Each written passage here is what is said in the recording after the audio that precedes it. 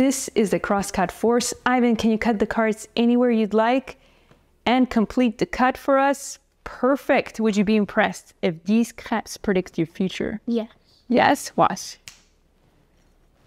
First pancake, first little crepe has a king of diamonds. And what card did you cut to?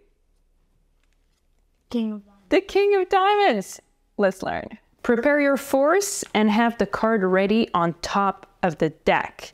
And then you will instruct them to cut the cards and make sure to cross over with the other packet. And now the top card is right over here. We'll leave it face up. Bring attention to your prediction. And then, with a bit of a pause, you're able to reveal that that is exactly where they cut.